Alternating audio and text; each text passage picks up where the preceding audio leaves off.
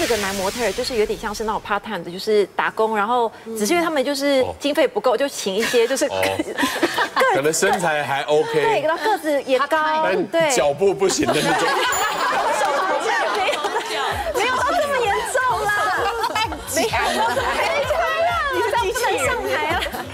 但是小耳愣子在那边，没有，人家也是就是有模有样，只是不呃没也不是专职的，没有真的受过训练这样子这样。所以他们一开始这四男四女他们的地位就有点不一样了，因为女的就感觉那些那群女的就是感觉好像地位比较高，对，男模就稍微矮一截。可是其实这四个男模同时看上同一个女模，因为大家相处五天，其实会有感情。最正的那个。对，最正的那，就是比较甜美，因为有的模特看起来是比较有个性、比较冷酷的，那不一定是大家会喜欢的那种型。可是，所以所有的男生都只看上同一个女模特，然后你知道，如果没有人跟他那些男生竞争就算了，有一个男的他发现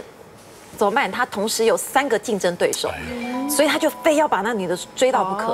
然后他就是对他女的很好很好，然后在那相处的五天，就是对他非常的无微不至的照顾这样子，然后还会表现出自己就是各方面很优很优势的一面这样。然后五天的活动结束之后。那个女的唯一有联络，就是当然就是跟那个表现就是最有企图心的那一个男生这样子。然后那个男的其实，在追她的过程当中，也表现得很卑微，因为他自己觉得说地位有点不太一样这样，所以就是也很乖巧，然后也对她就是屈躬卑膝这样子，屈屈躬卑膝，对，被屈躬卑膝，卑躬屈膝，卑躬屈膝，怎么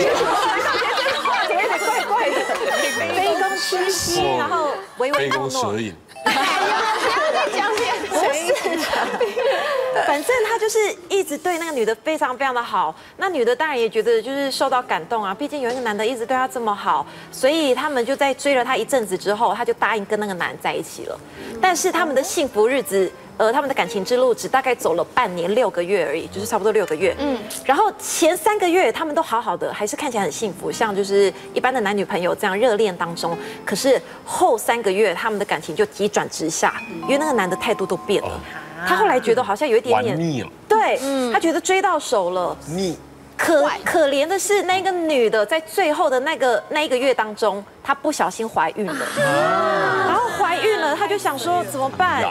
没结婚，没有结婚，追到手只是在一起，对。然后可是就是那女的自己也不知道该怎么办，怎么就是未婚就怀孕了，然后她就去跟她男朋友讲讨论这样。就她男朋友在后期那三个月，本来对她态度就已经没有很好了，一一听到她怀孕，整个就是牙开，对，还还对他发脾气这样子，想说你为什么这种事还要来找我？你就自己去把它解决掉啊！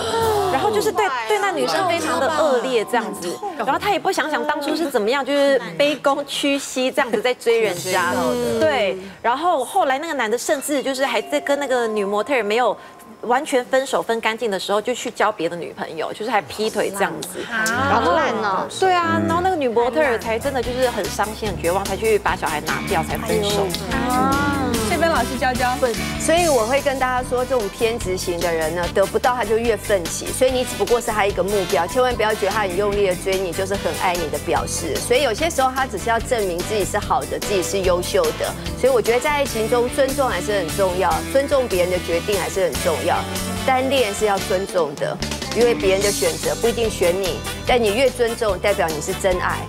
哦，嗯，谢谢四位来宾精彩的分享，谢谢。谢谢